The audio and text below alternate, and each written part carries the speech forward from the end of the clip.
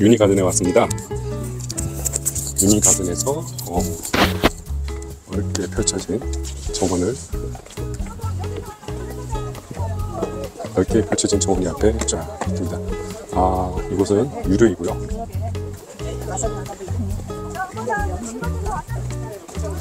뱃살이 코키아인 것 같습니다. 어, 이곳은 가을에 왔을 때 그 코키아가 이쁘게 자리를 잡을 것 같은데 가을에 오시면 뎁사리가 그 코키아가 코키아 종류와 이제 또 다른 종류도 같이 있는 것 같은데요. 그 붉게 묻은 그 모습을 볼 수 있는데 그 단풍이 들어서 이쁘게 그 변하는 게 이 뎁사리거든요. 좀 요거는 그 새로운 붉게 변하는 이제 우리나라에도 유통되고 있는 것 같은데 얘는 잎이 좀 길고 좀 큽니다. 그리고 저쪽에 이제 코키아 코키아가 있고요. 특히 저쪽에 보시면 담쟁이 동굴도 굉장히 이쁠 것 같습니다.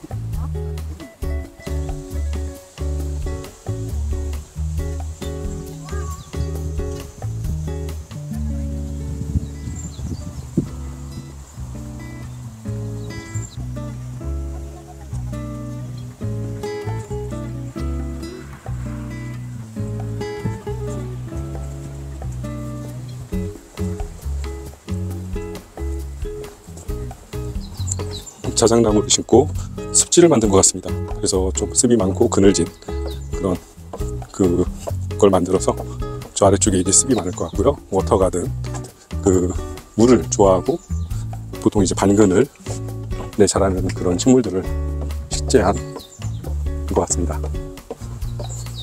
자작나무로 이렇게 그늘을 만들어 주었습니다. 사실 우리나라가 양지만 있는 게 아니거든요. 건물이 있기 때문에 건물 뒤편은 보통적으로 다 음지인데 음지 식물들과 이렇게 그 습을 좋아하는 그런 식물들을 갖다가 이용한다면 그 일반적으로 가정집에서도 워터가든을 충분히 만들 수 있습니다. 우리나라에서 제일 응용하지 못하고 있는 것 중에 하나가 워터가든인데 지금 여기 보시면 그 개수나무가 보입니다. 개수나무가 한여름에 이제 감을 때는 잎이 타는 현상이 생기는데 워터가든에 심었다는 건 이게 습을 좋아하는 그러니까 물이 메마르면 안 되는 그런 나무이기 때문에 식재를 한 것 같습니다.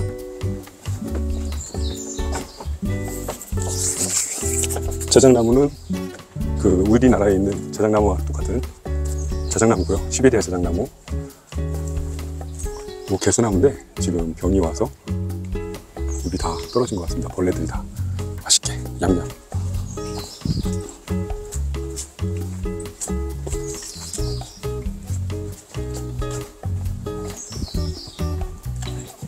습지에 마- 그 자라는 이런 억새 종류 그리고 습지에 이렇게 자, 그 있는 그 생태계를 갖다가 보실 수 있는 그 관찰용으로도 아주 좋은 것 같습니다. 이것은 이렇게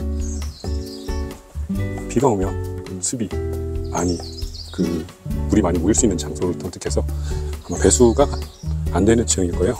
그런 지역으로 지금 식물들을 식재했고 이제 갈대 갈대 같은 경우가 이제 물에서 번식을 잘합니다. 습이 많은 곳에서 어, 물 속에 그 자라는 식물들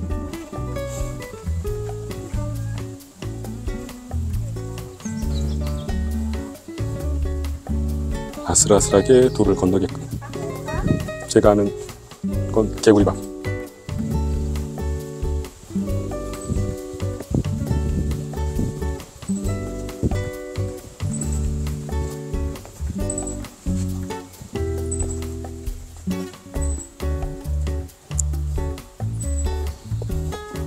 워터 가든에 다양한 게 있는데 어, 붓꽃 종류도 있는 것 같고요. 사실 제가 여기 있는 식물들은 정확히 일일이 하나하나 는 이름을 모르겠는데 그래도 눈에 많이 익은 식물들이 자리 잡고 있습니다. 우선 제일 많은 게 개구리밥인 것 같습니다. 개구리밥이 월동을 하는 줄 알았더니 개구리밥은 월동을 안 하고 씨를 갖다가 그 번식을 한다고 그러더라고요. 그래서 씨를 갖다가 떨어뜨리고 겨울에는 얼어 죽고 그리고 다시 씨가 발아해서 개구리 밥이 되는 우리가 그 시골에서 제일 힘들어하는 식물 중에 하나가 이 쇠뜨기. 쇠뜨기가 물속에서 굉장히 잘 자라는 것 같습니다.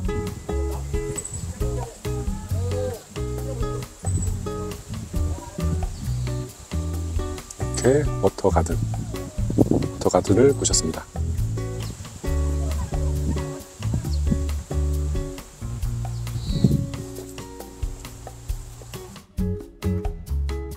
fragrance garden, 향수 가든입니다. 어떤 향기가 날지 궁금해집니다. 제 옆에는 교회 건물이 있고요. 옆에는 향수적, 향수의 대표적인 식물 장미가 있습니다. 그리고 라일락, 라벤더, 개수나무,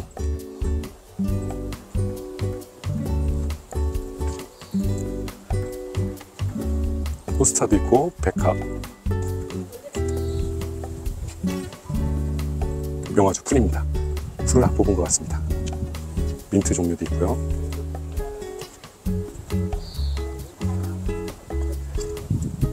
꽃사과 종류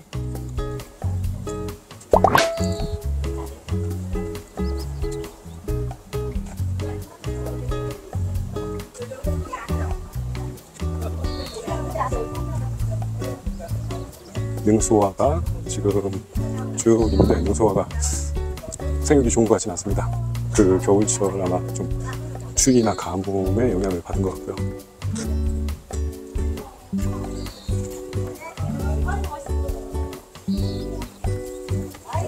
이 향기가 나는 정원. 어, 생각외로 어 이거는 모과나무 같기도 하고요. 향기가 나는 정원인데 향기가 안 나는 미국수 아나벨이 있습니다. 그리고 자연병꽃도 있고요.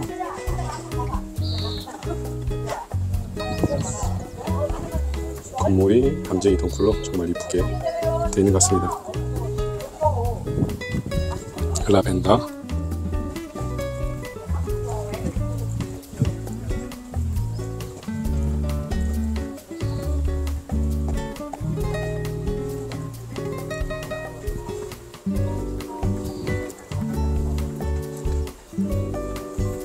향수가 향수 정원, 그 향기가 나는 정원에서 지금 제일 독특했던 것 중에 하나가 이 개수나무인데요. 개수나무로 이렇게 울타리를 갖다가 만들어 놨는데 이 그 초콜릿 향기, 어, 그 정확히 말로 표현하기는 못하는데 좀 달콤한 향기가 납니다. 개수나무가. 그래서 개수나무를 갖다가 저렇게 보통적으로 이제 묘목이 저렴하니까 묘목으로 이렇게 심어서 그 모양을 갖추는 것도 괜찮을 것 같습니다. 향기를 좋아하시는 분들이라면요.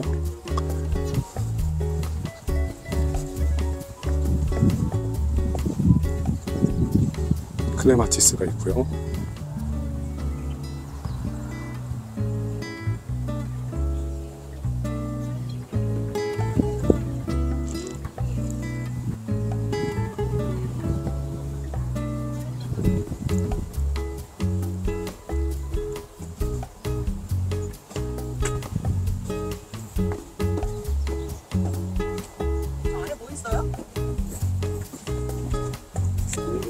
지금 그 장미 종류들. 능소와.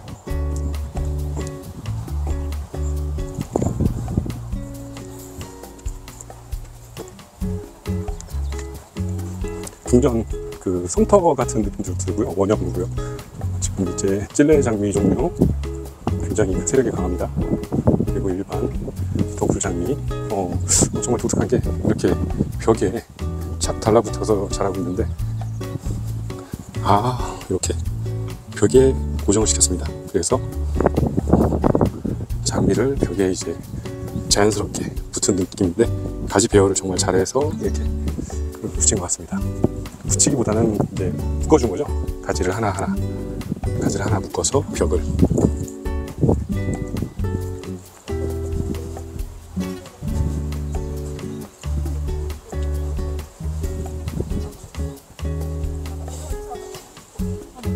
이상으로 향기 나는 정원이었습니다. 어, 이곳은 로즈가든 장미정원입니다. 어, 향기가 더 좋은데요. 아까 향기 나는 정원보다 더 향기가 진합니다.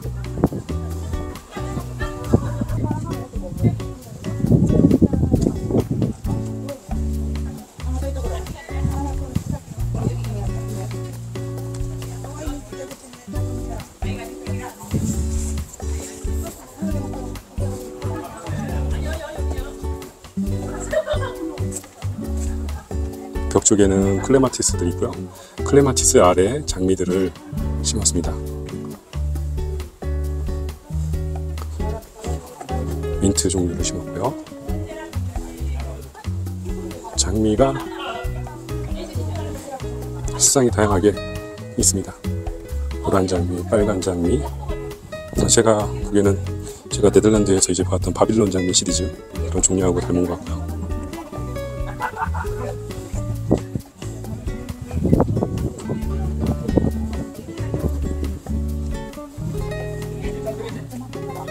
색상이 정말 선명하고요. 그리고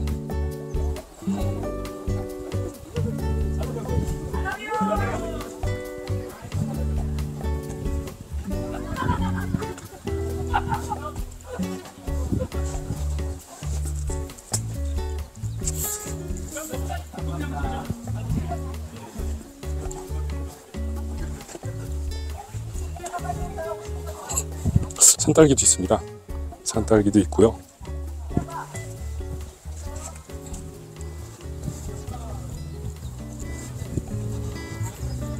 측백나무로 이렇게 울타리를 했습니다.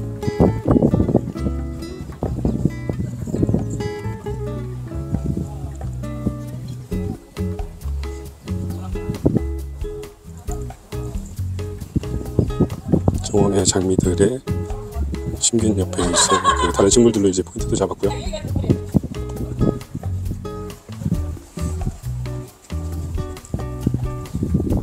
장미들 위에 이제 그 나무의 껍질 어, 코코피트 같기도 하고요. 네, 피복을 해주셨습니다.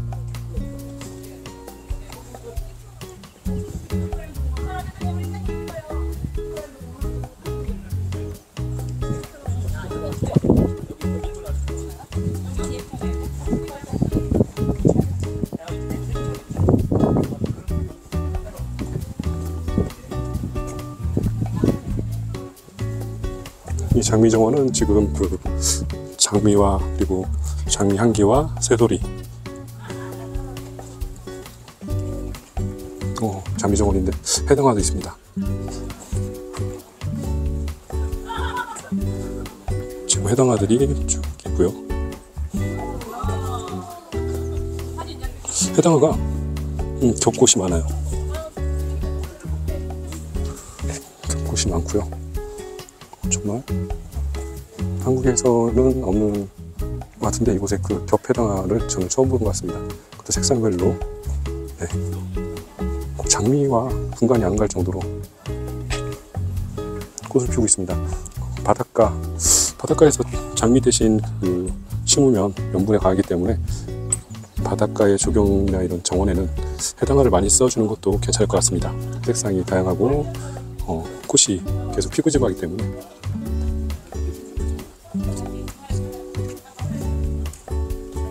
장미 정원을 보셨습니다.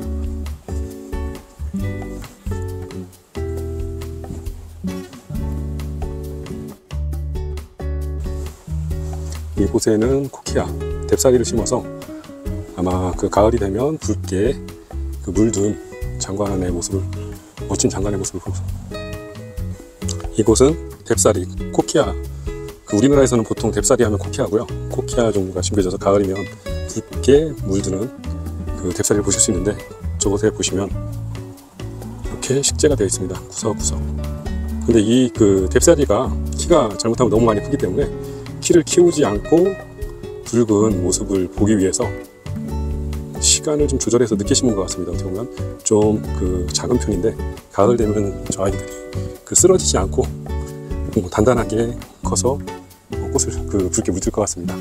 그리고 이 주변에는 이렇게 나리 종류도 있고요. 어, 폈는데 꽃 이름은 모르겠습니다. 이렇게 그 조팝나무 황금 조팝 종류 같기도 하고 삼색 조팝 황금 조팝인 것 같습니다. 땀색 조팝일 수도 있는데 지금 이렇게 꽃 피듯이 나오는 거 보면 굉장히 이곳의 날씨가 한국보다 더 춥다고 생각하시면 될 수 있고요. 해송 같은 그 소나무 종류가 있고 마치 골프장의 그 홀들을 연상하는 것 같은 그런 모습의 어, 그 구획이 정리된 것 같습니다. 좀 부정형이지만 이 사람 사람 사람들이 어, 사이사이로 다 다닐 수 있게끔 돼 있고요. 중간에 있는 나무들은 산버스로 보입니다. 산버 나무가 심겨져 있고 여기는 어, 지금 꽃이 활약이 폈는데 영레이디인 것 같습니다.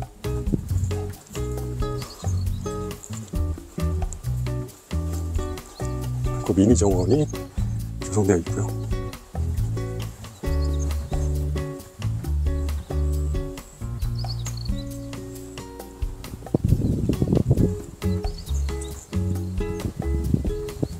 동네이디가 지금 꽃이 너무나 그 아름답게 완발을 한 것 같습니다.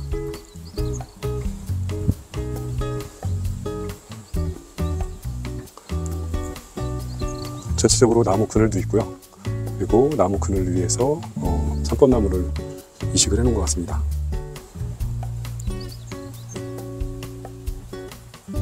지금 이게 전반 전체적으로 코키아가 심을 건지 아니면 다른 식물이 지금 식재될지는 모르겠는데 이쪽은 이제 그 뎁사리가 가을이면 붉게 물드는 그런 모습을 볼 수 있습니다.